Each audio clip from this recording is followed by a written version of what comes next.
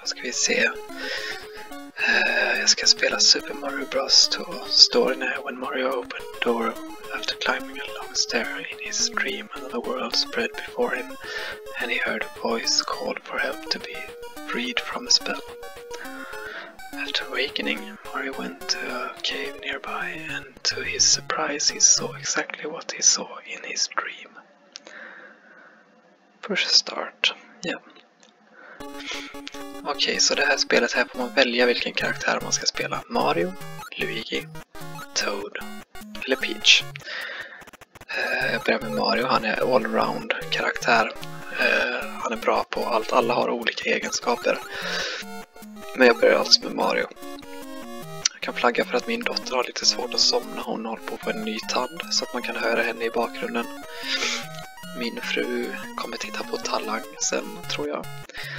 Det är saker man kan höra i bakgrunden och det är de förutsättningarna jag har för att jag har inget, ingen egen källare för det här än mina Let's Plays. Men nu kör vi!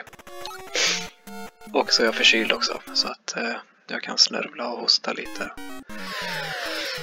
Eh, det här är ett spel som eh, jag hade ju varvat eh, Super Mario 1 eh, flera gånger innan jag äntligen fick det här spelet. Och när det väl hade kommit ut så fick jag dessutom vänta längre än väntat. Eh, jag gillar det här i detta som jag ändå tycker är ett Super Mario-universum. Ehm, trots att det är baserat på spelet Doki Doki Panic. Eh, varför det är det, det ska jag se om jag hinner komma in på lite mer. Men eh, jag hade i alla fall väntat väldigt länge på det här. Eh, så när mina kusiner skaffade spelet så de blev eh, förbjudna av eh, att ta med det. Jag fick inte presenteras för det här spelet. Eh, och det är på grund av att eh, jag blev så förbannad. På, man får, eh, det kommer hjärtan i spelet när man har dödat ett visst antal fiender. Typ fem fiender eller något sånt där. Och när man har tagit fem körsbär så kommer en stjärna. Eh, jo, eh, men jag blev så för, förbannad jag spelade Super Mario 1. Alltså jag fick raseriutbrott som var... Mina föräldrar kunde inte riktigt hantera det. Vilket senare i livet skulle leda till eh, att jag fick gå i terapi. Det här var... När det här spelet kom, det var ganska långt innan den där terapin, men hur som helst, deras eh, bot på problemet var att jag fick absolut inte spela Super Mario Bros 2. Eh, ja, jag förstår dem. Det var väldigt många omgångar av ettan jag spelade. Eh, och tokflippade. Jag jagade till, till exempel min bror med en kökskniv för att jag blev game over på 6-4 i Super Mario 1. Eh, och eh, ja, det är roligt idag, men jag förstår oron hos min familj. Eh, Ja, jag bet mig i armarna så, så att jag fick märken. Jag hade ett väldigt självdestruktivt beteende. Eh, men hur som helst så kom ändå mina kusiner med spelet när mina föräldrar inte var hemma. Så jag fick testa det. Och eh, det här var allt som jag någonsin hade drömt om. Eh, det var liksom jag hade inte kunnat föreställa mig att det skulle vara så här bra. Liksom. Sen... Eh, jag hann ju bara spela det kanske tio minuter. Jag fick titta på väldigt mycket när mina kusiner spelade. Jag var tvungen att ja, hålla mig i skinnet så att jag inte flippade eller så. För då skulle de... De hade sagt att de skulle ta ut spelet om, om jag flippade liksom. Men det var så... Eh, det gjorde sån impact på mig det här spelet att jag hade återkommande drömmar om det. Här är en bonusnivå där, där spelar man på de här mynten man, man plockar i den mörka världen som man får när man hittar en sån här potion, röd potion. Man får upp den där magiska dörren. Testa Luigi då. Luigi är bra på att hoppa, han hoppar högt. Lite svår att kontrollera, men, men det är hans special att han hoppar högt. Jo, eh, så jag hade de här drömmarna om Super Mario 2 eh, och då hade jag bara smakat på det. Eh, det, det låter helt sjukt när jag pratar om det men, men så var det i alla fall. Eh, jag fick gott vänta tills jag till slut lyckades lyckades eh, på spelet. Ehm. Och eh, i... Jag synd att jag tog körsbäret här. I... Ehm. Nej, så det skulle jag inte ha gjort. Ja, I efterhand så visade det sig att det här inte alls är eh, Super Mario Bros 2. Inte för... Det är inte det äkta... Det är inte the real deal. uh, det riktiga Super Mario Bros 2 går under titeln Lost Levels och släpptes i Japan. Um, så... Det fick ju inte jag avnjuta.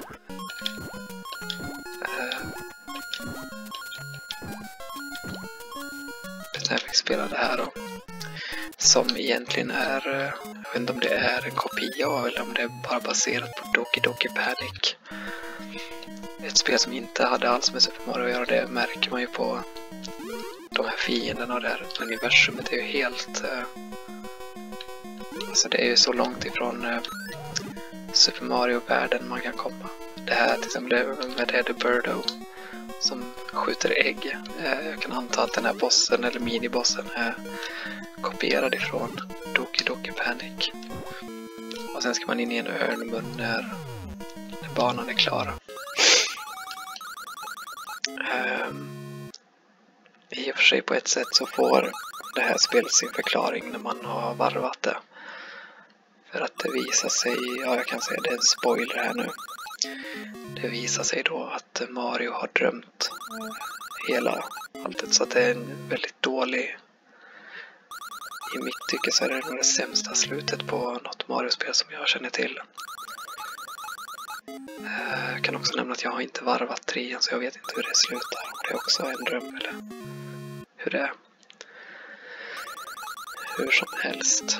Ehm, jag tycker ändå att för, för mig, jag är hemskt dålig på det här. Man får extra liv om man lyckas få tre i rad eller körsbär. Toad är bra på att lyfta saker, riva upp eh, grödor ur marken. Han gör det snabbt. Jag borde inte ha valt honom till den här banan. Eh, ja, jag tar bara ner det. Det finns ju ingen timer i spelet så att man har tid på sig att göra allting. Till skillnad från Super Mario 1, 2, 3 eh, och Mario World tror jag också. Eh.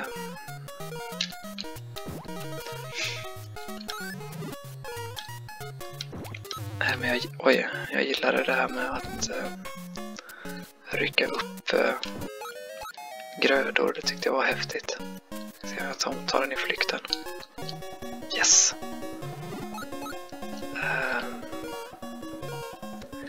så det, när jag spelade det här första gången så var det som att det var en, någon total frihet som jag tyckte det var så häftigt att man kan rycka upp dem där och att man även kan lyfta upp fienderna och stå på dem där man får den där klockan. Alltså jag gillade verkligen det här. Så att för mig är detta en del av serien. Eh, detta är vad vi hade här i, i väst. Nej. Här borta finns en warp zone för den som vill. Jag ska inte warpa, jag bara kör på så långt jag pallar. Nej, men jag gillar de här momenten att man får... Mm, det är liksom... Plattform när det när det är riktigt bra i mitt tycke.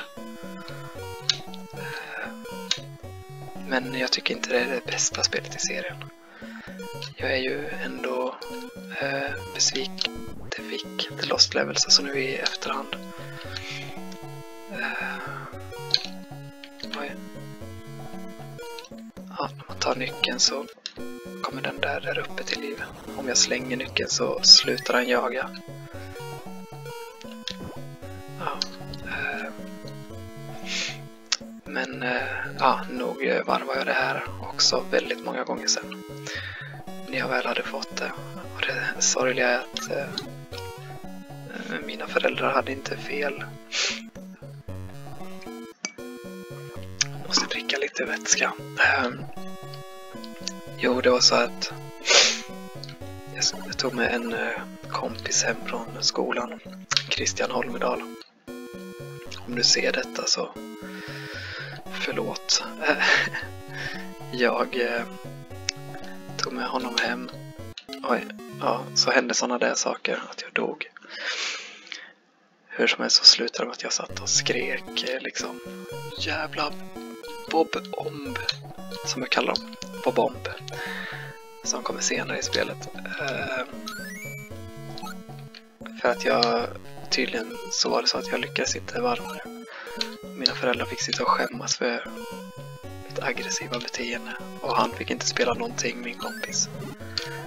Utan eh, han fick bara titta på när jag satt och skrek och kastade kontroller och liksom flippade. Nämnde att jag fick gå i terapi sen. ja. Eh, men man kan se det som att de spelen som jag blev mest aggressiv över, det var de som var lyckade. För att här ska man se till att kasta bomber i huvudet på honom. Eh, aj då, inte så. Och som sagt, man har ju tid på sig, man behöver inte ha bråttom här. Men jag...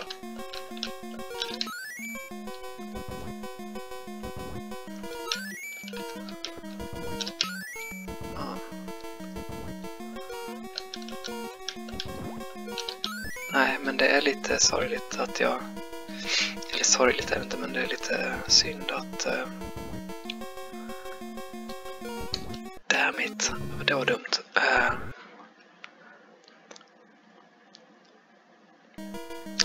I efterhand i och för sig undrar hur förbannad jag hade varit om jag spelade Lost Levels som anses vara det svåraste spelet eh, ever. Ett av de svåraste ever. Ehm.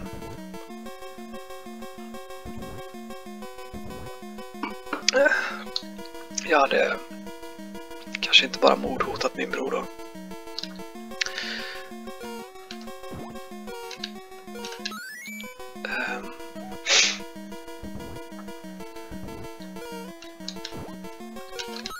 Oj, dammit.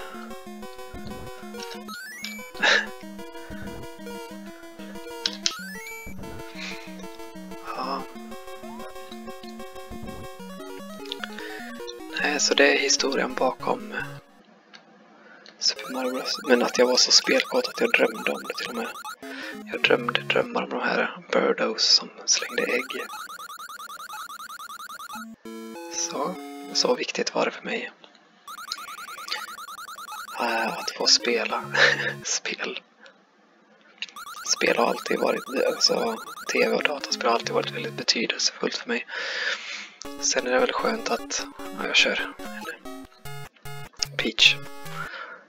Eh, sen är det skönt att den här aggressionen har släppt då. Eh, att jag hittade ett sätt att...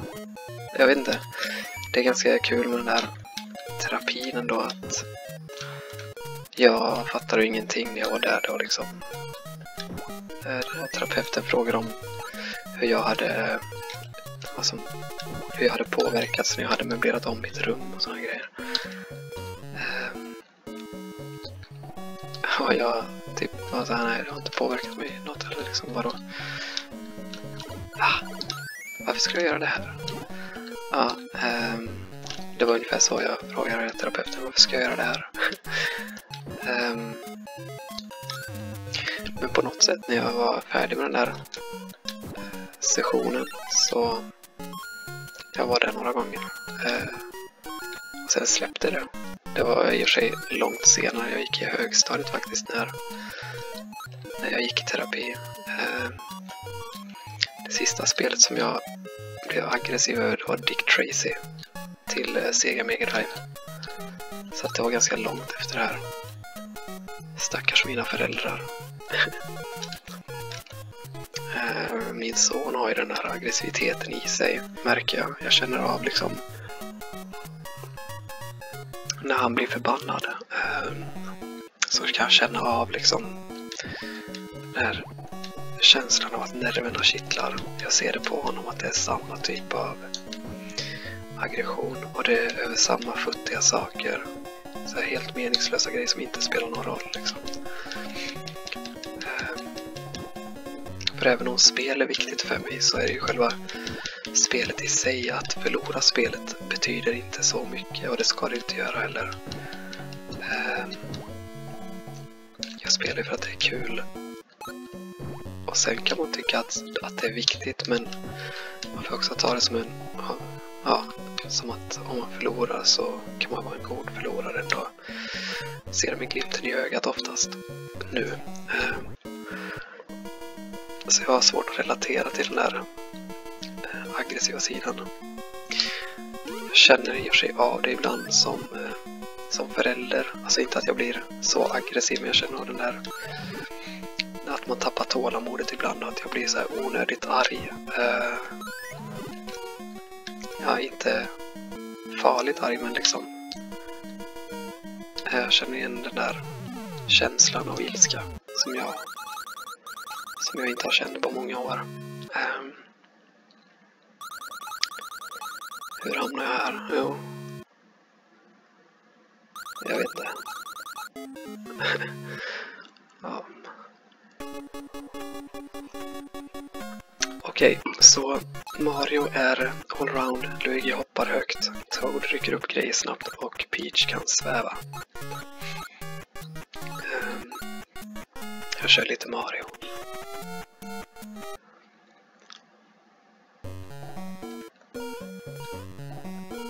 Mm, nu har jag sänkt ljudet lite i mina hörlurar. Jag vet inte om det påverkar inspelningsvolymen. Det borde inte göra det, kan jag tycka. Men jag vet faktiskt inte. För att när jag spelar spelen så här så kan det vara så... Damn it. Eh, överdrivet eh, hög volym.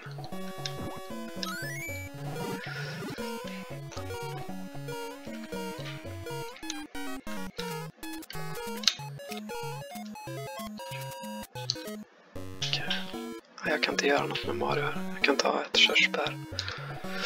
Eh, Är man Luigi så kan man bomba sönder Man kan inte hoppa upp sådär högt med en bomb i handen.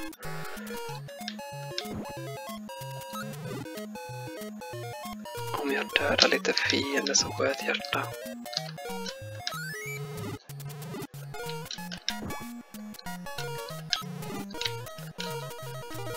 Där kommer den.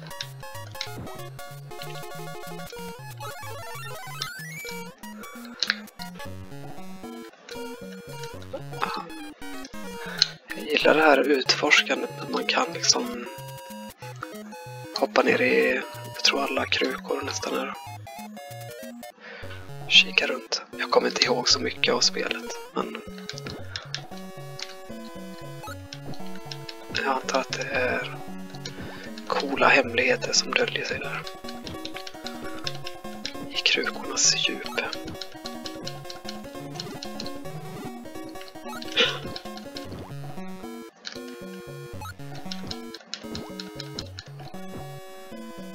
Sätter jag tusen spänn på att jag ska åt det här hållet.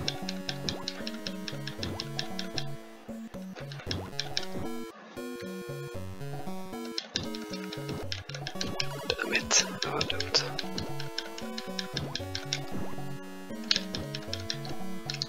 Så. Ehm. Um, något mer jag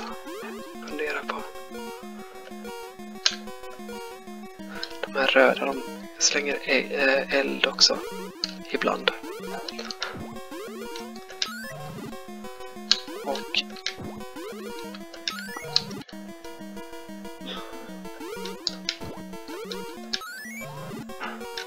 Det där skriket när man, när man dödar dem, det... Ja.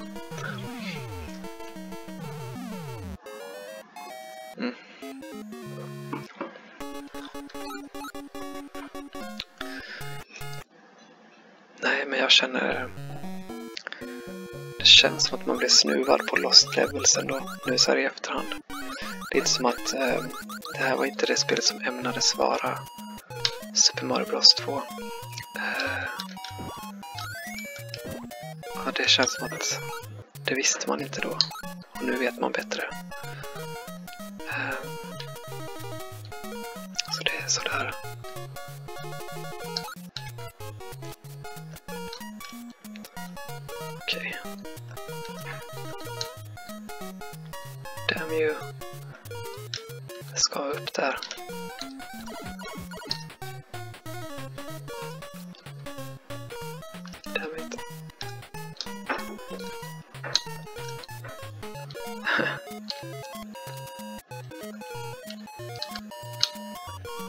Nej. Men eh, jag tror att jag jag kan eh, skriva, jag kan det här spelet liksom. Jag har spelat det nästan lika mycket som eh, Super Mario Bros 1. Så jag kan skriva en artikel på det utan att liksom spela igenom det. Eller... Det är ett sånt där spel som jag vill bara återkomma till. Uh, lite för att ja, när jag är klar så ska jag ju lämna det här. Eh, jag eh, baserar inte riktigt mina spelval på slump längre. Utan efter det här så kommer jag spela Super Mario Bros 3. Nu är det bara baserat på eh, popularitet och eh, en ekvation utifrån hur många som är inne på bloggen. Säg att det är som ett belöningssystem. Ju fler som är på bloggen desto, desto mer eh, spel som folk känner till dyker upp. Och sen... Eh, ja, sen går det kronologiskt och eh, när jag tagit mig igenom fram till nutid och gått runt så Ja, jag ska inte gå in på det. Jag, jag går kronologiskt och så börjar jag om liksom. Här. När jag har nått nutid.